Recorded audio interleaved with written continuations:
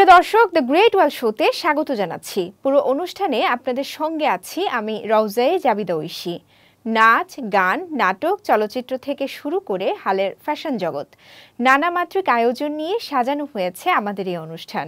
চীনের প্রাকৃতিক সৌন্দর্য, সাংস্কৃতিক ঐতিহ্য, উন্নত সমৃদ্ধ এবং বৈচিত্র্যময় জীবনধারার গল্প আপনাদের সামনে তুলে ধরব। অনুষ্ঠানটি উপভোগ করতে আমাদের সঙ্গেই থাকুন।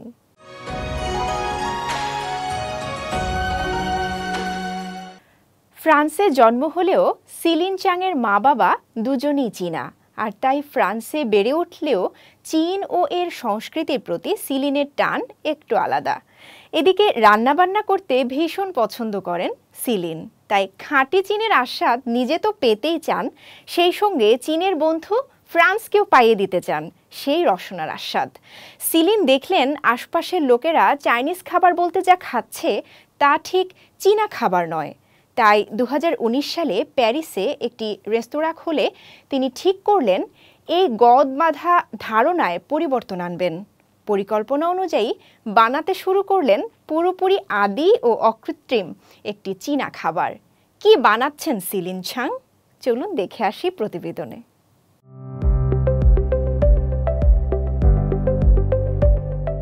পাঁচ বছর আগে ফ্রান্সের প্যারিসে সিলিন ছুং যখন প্রথম রেস্তোরাঁটি চালু করেন, তখন থেকেই চীনা খাবার নিয়ে প্রচলিত ধারণা কি করে ভাঙা যায় তা নিয়ে ভাবতে থাকেন তিনি। সিলিনের রেস্তোরাঁর নাম পাও ফ্যামিলি। এখানে তৈরি হয় অর্গানিক খাবার, যার রসদ আসে স্থানীয়ভাবে উৎপাদিত খাদ্য সামগ্রী থেকে। পাও নামের খাঁটি চীনা খাবারটি তৈরিতে সিলিন কোনো যন্ত্রপাতি ব্যবহার করেন না। প্রতিটি পাও তৈরি হয় কারিগরের হাতে। আর এই চীনা পাও বানিয়ে ইতোমধ্যে বেশ সুনাম কুড়িয়েছে সিলিনের রেস্তোরাঁটি। সিলিন তার জীবনের লক্ষ্য অর্জনে ছিলেন মরিয়া। একটি প্রতিষ্ঠানের পরামর্শক পদে চাকরি করলেও রান্নার প্রশিক্ষণের জন্য সেটা ছেড়ে দিয়ে তিনি চলে যান সাংহাই।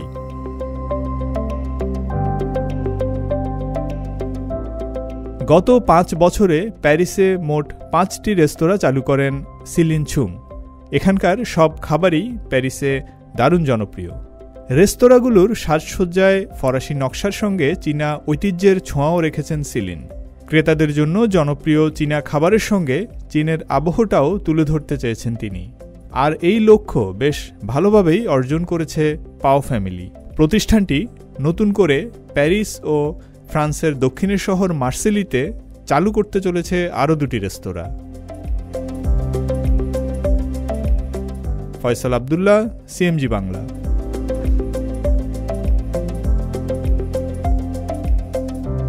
সম্প্রতি শেষ হলো বেইজিং আন্তর্জাতিক চলচ্চিত্র উৎসব। এর একটি অংশ ছিল Beijing college student film festival. গেল শনিবার ইয়ুথ নাইট পুরস্কার প্রদান অনুষ্ঠানের মধ্য দিয়ে শেষ হয় ওই উৎসব।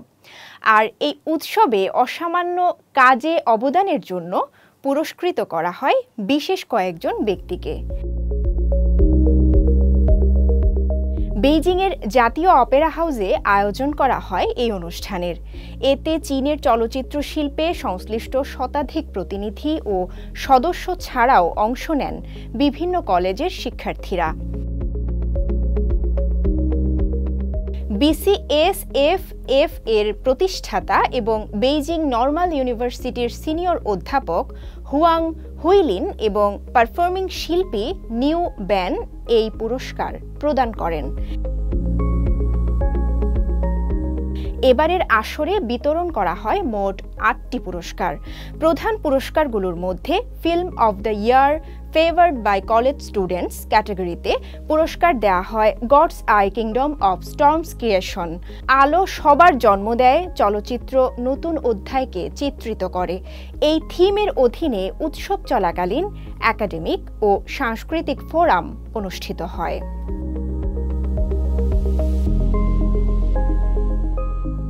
পূর্ব চীনের চিয়াংসি প্রদেশের ইছুয়ান শহরে গেলে শোনা যাবে হৃদয় নিংড়ানো এক বন্ধুত্বের গল্প। কিশোর ও ইয়াচুন গত পাঁচ বছর ধরে নিঃস্বার্থভাবে যত্ন নিয়ে চলেছেন তার প্রতিবন্ধী সহপাঠী লি ছি চিয়ানের দিচ্ছে সাহচর্য ও নানা ধরনের সহায়তা। তাদের এই বন্ধুত্ব এখন অনুপ্রেরণা যোগাচ্ছে শিক্ষক ও অন্য তরুণদের। ছোট্ট দুই শিশুর বন্ধুত্বই যেন পাল্টে দিয়েছে পুরো স্কুলের পরিবেশ। রিপোর্টে থাকছে বিস্তারিত।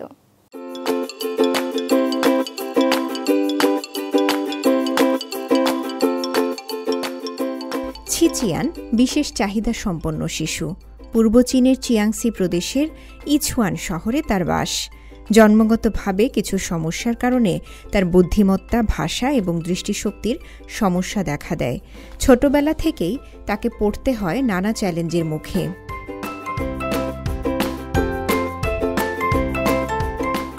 এগারো বছর বয়স পর্যন্ত বাড়ির গণ্ডিতেই আটকে ছিল ছিচিয়ানের শৈশব। পরে তার পরিবার তাকে স্কুলে পাঠানোর সিদ্ধান্ত নেয় এবং থংকুই কাউন্টির প্রাথমিক বিদ্যালয়ে ভর্তি করানো হয়। পাঁচ বছর ধরে ছি চিয়ান এই স্কুলেই পড়ছে। যদিও স্কুলটি ছি চিয়ানকে সাদরে গ্রহণ করেছিল, তবু নতুন ছাত্রের আগমন নিয়ে শিক্ষক ও শিক্ষার্থীদের মধ্যে ছিল উদ্বেগ। ছিচিয়ানের নিরাপত্তা এবং স্কুলের পরিবেশ তার খাপ খাওয়ানো ছিল চ্যালেঞ্জের কাজ, এমনটা জানালেন deputy school master Liu Hong Hai তিনি আরও বলেন, এই উদ্বেগ সত্ত্বেও স্কুলটি ছিচিয়ানকে সাদরে গ্রহণ করার সিদ্ধান্ত নেয়, কারণ তারা বিশ্বাস করে প্রতিটি শিশু ন্যায্য শিক্ষা পাওয়ার যোগ্য।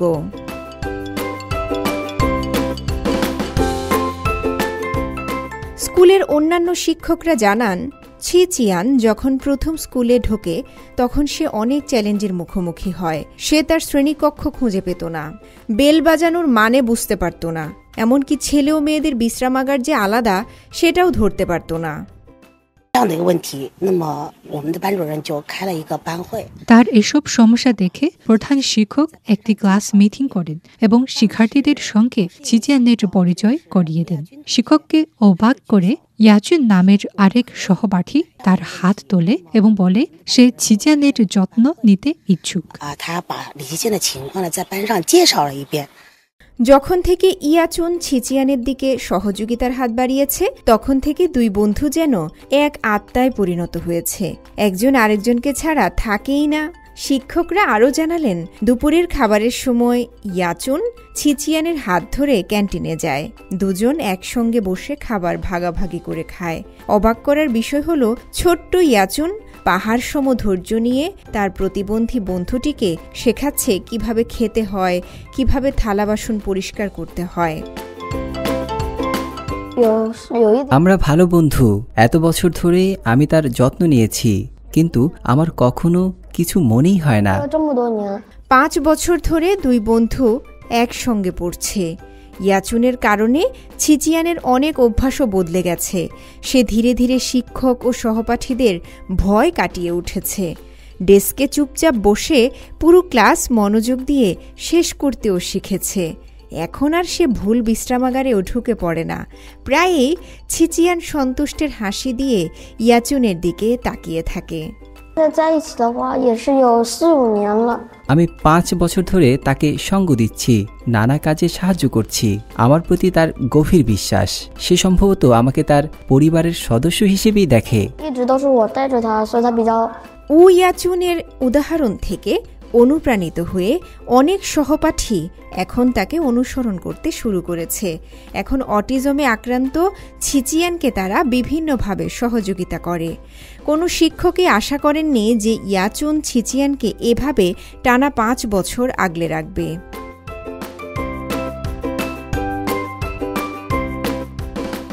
স্কুলটিতে এখন মোট নয়জন বিশেষ চাহিদা সম্পন্ন শিশু আছে। নিবেদিত প্রাণ শিক্ষক, মমতাময়ী সহপাঠীদের সমর্থন ও সহায়তায় তারা পড়াশোনা ও ব্যক্তিজীবন দুটোতেই এগিয়ে যাচ্ছে বাধাহীনভাবে।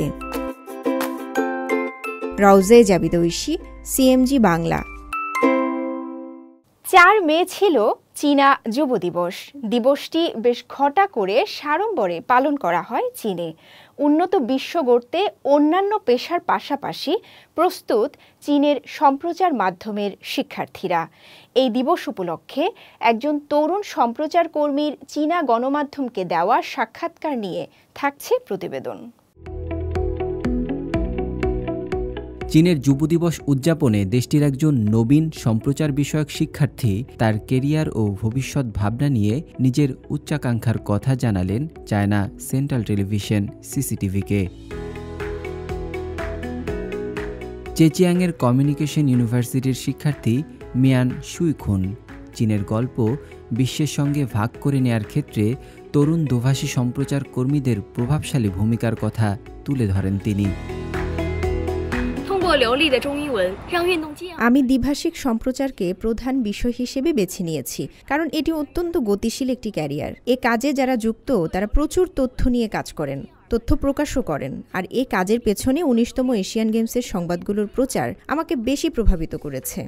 মিয়ানের দৃষ্টিতে চীনের যুবকদের কণ্ঠস্বর আরও জোরালো হচ্ছে।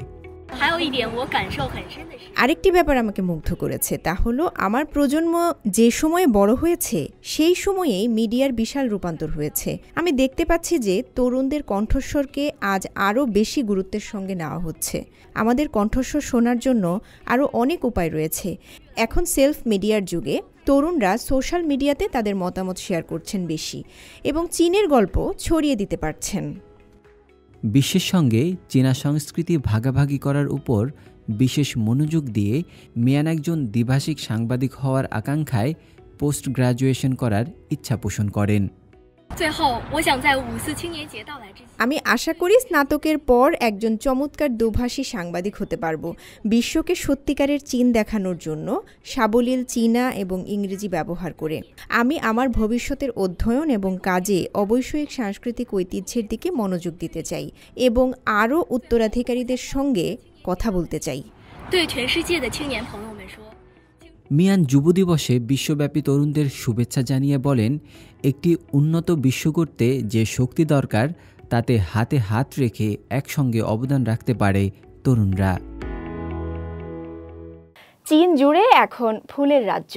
চেরি, পিচ, টিউলিপ ফুটেছে বিভিন্ন শহরে। এই ফুল ফোটাকে স্বাগত জানাতে বেইজিংয়ের বিভিন্ন পার্ক ও দর্শনীয় স্থানে অনুষ্ঠিত হচ্ছে উৎসব। দেখা মিলছে ফুলপুরীর। পর্যটকরা রঙিন ফুলের সঙ্গে ছবি তুলছেন প্রাণ ভরে। ফুল ফোটার এই আনন্দমুখর উৎসব সম্পর্কে রিপোর্টে থাকছে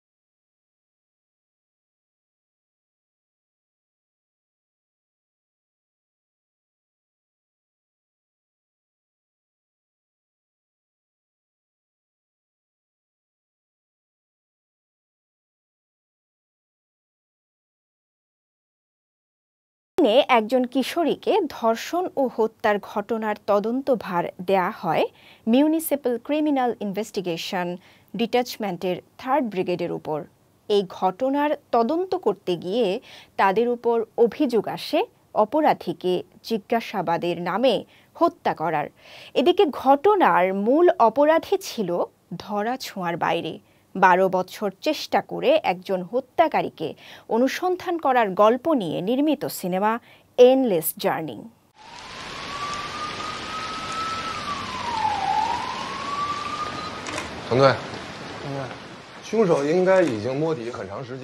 চীনের কুয়াংতুং শহরের এক কিশোরী ধর্ষণ ও হত্যাকাণ্ডের শিকার হয়। বৃষ্টিস্নাত রাতে বাসায় একা ছিলেন ওই তরুণী।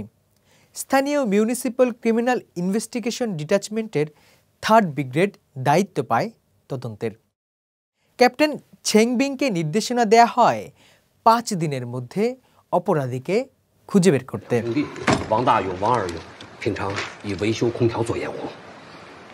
দারুণ পরিশ্রম করে এক সন্দেহভাজন ওয়াং তাইয়ুংকে গ্রেপ্তার করেন ছেনবিং জিজ্ঞাসাবাদে ওয়াং তাইয়ুং বলেন তিনি নয় হত্যা করেছে তার ভাই ওয়াং আরিয়ং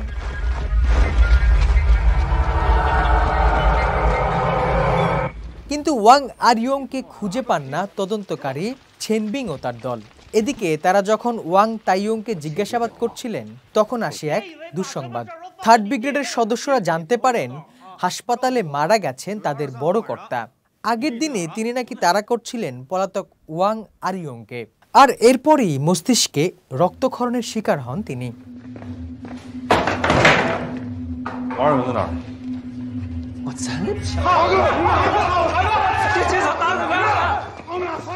এতে ক্ষুব্ধ হয়ে তৃতীয় ব্রিগেডের সদস্যরা ওয়াং তাইয়ং এর উপর নির্যাতন চালান।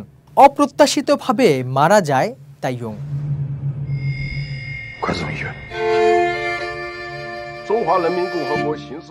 তৃতীয় ব্রিগেডের পুলিশের ভাগ্যে নেমে আসে কালো ছায়া। নির্যাতন করে স্বীকারোক্তি আদায় এবং হত্যার অভিযোগ আনা হয় তাদের বিরুদ্ধে। পুলিশের ইউনিফর্ম খুলে তাদের পড়তে হয় কারাবন্দির পোশাক। পরে এক সময় কারাগার থেকে মুক্তি পান ছেংবিং ততদিনে তার জীবনে আসে বিশাল পরিবর্তন। জেল থেকে বের হওয়ার পর বিবাহ বিচ্ছেদ হয় তার। 你吃茶叶。哎，我卷子还没做呢。 那做卷子呀？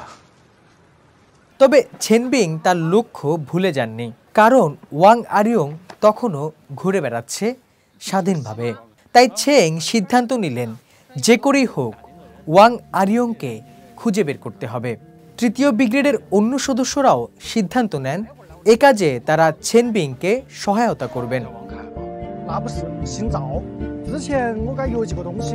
那不是姓赵，之前我该邮寄过东西。哎，这儿。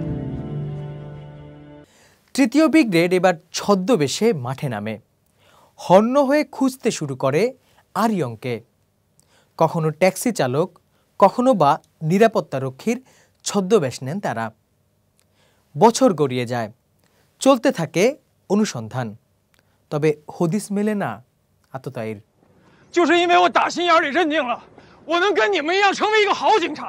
এক পর্যায়ে হতাশ হয়ে ছেনবিংয়ের সহকর্মীরা সরে আসেন মিশন থেকে। শুধু লেগে থাকেন একজন ছেনবিং।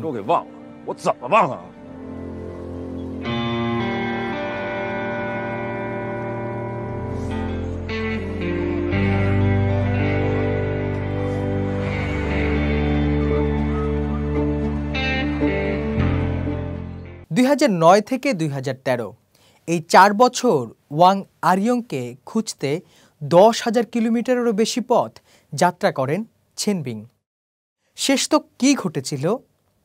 ছেনবিং কি তার লক্ষ্যে পৌঁছাতে পেরেছিলেন? ওয়াং আরিয়ংকে খুঁজে পেয়েছিলেন তিনি। উত্তরগুলো পেতে দেখে ফেলুন তেইমৌ পরিচালিত ইনলেস জার্নি সিনেমাটি।